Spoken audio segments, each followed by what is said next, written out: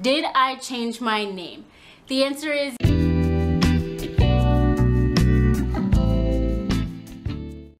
Hey everyone and welcome back to the Fortitude Fix. I hope you're well.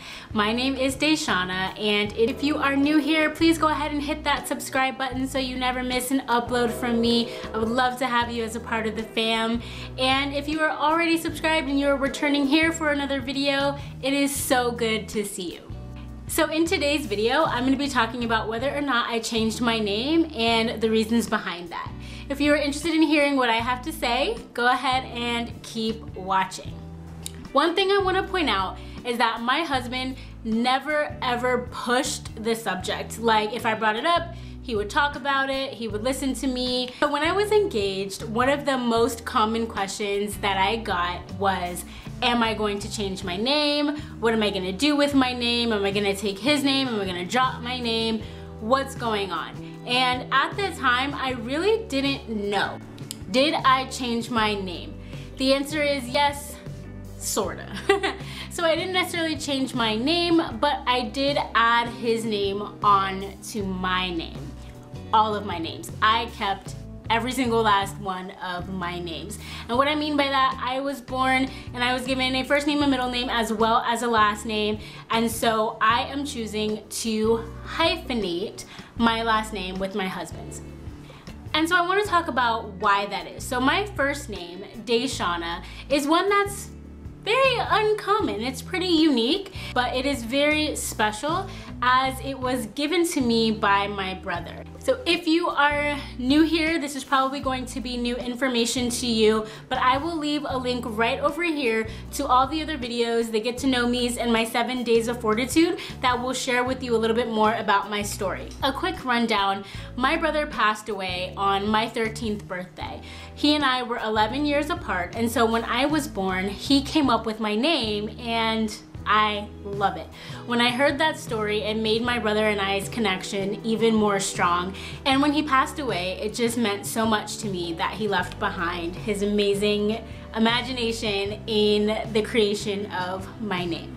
Secondly, my middle name. My middle name is Yvonne, and Yvonne is a name that was given to me because it is the name of my biological mother.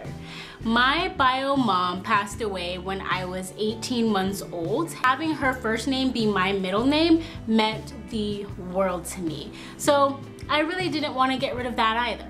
Lastly, my last name.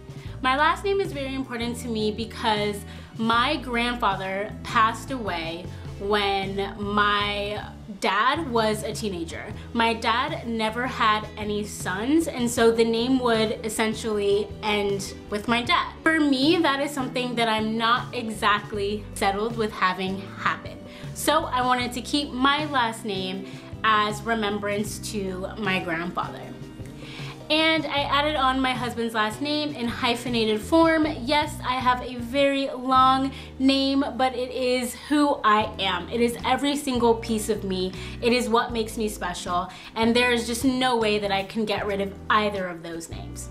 My husband is completely on board. He loves the idea that I'm taking on his name and that I am hyphenating it because again, this is who I am and he is an added part to who I am at this point in my life and I wanted to honor myself, my family, as well as him and our family together.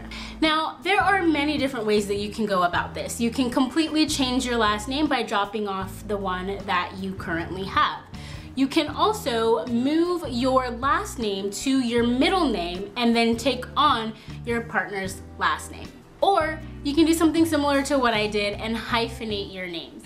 So whatever it is that you decide, just please do remember it is your decision. If your partner has very strong ideas on the issue, go ahead and talk those things out before the time comes for you to sign paperwork and make final decisions.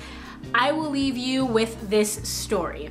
When we went to get our marriage license, I had no idea that that was the moment in time that I would need to write down what my name would be after being married. I thought that we would just show up, fill out some paperwork as to who we are, give the mother's maiden name and all that good info, and we'd walk away with our marriage license. However, they want to know what your name will be. even after marriage so that you can take that document to go change your name or do whatever you need to do after the fact. Now, I don't know, but I had no clue that that's the day that I was supposed to make this decision.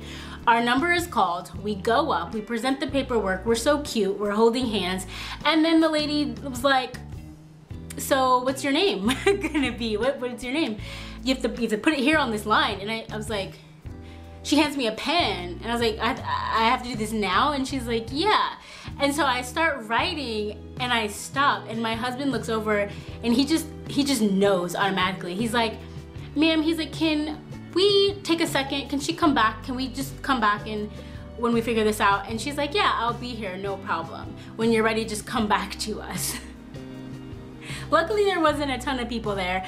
I kind of went and sat and I was writing down random names and what my name would look like, hyphenated, what it would look like with my middle name. I have no idea why I didn't do this before, but I figured it out. I was happy, my husband was happy. We got back in line and saw the, the lady and finished our paperwork and it was awesome.